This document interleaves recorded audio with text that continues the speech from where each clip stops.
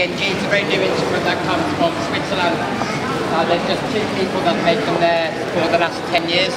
Uh, they invented it and they make them. Uh, they're all made by hand using special steel and hammers. Um, they are the only people in the world that make them to this kind of quality for now, although there are other people trying. Uh, we do this all around the world. We have some CDs. They will go very fast. They are the only ones we have today. So if you would like a CD, now would be a great time to take them because five minutes they will be gone. We will play one or two more songs. We're enjoying very much the road.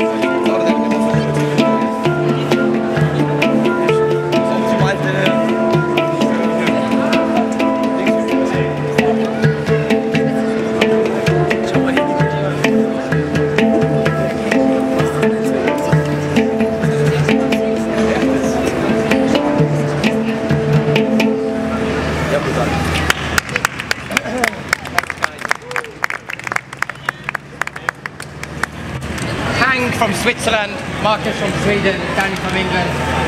We are happy to be in Rome. Very nice.